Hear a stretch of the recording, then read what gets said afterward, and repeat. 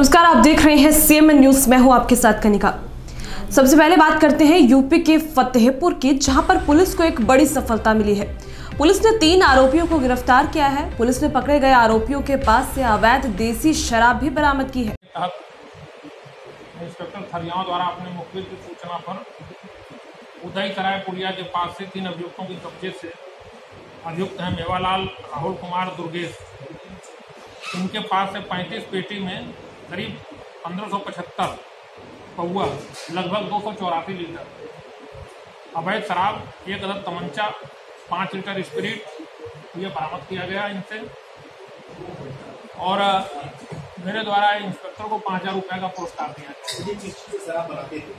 से स्पिरिट है इसमें नकली शर- शराब है और ये लोकसभा के चुनाव के दृष्टिगत ये लोग संग्रह कर रहे हैं।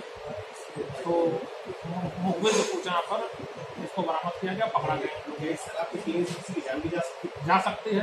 अगर स्पिरिट से बना रहे हैं तो जान जान जा सकती है। आँखों की ज्योति भी जा सकती है। स्वास्थ्य के लिए खतरनाक है।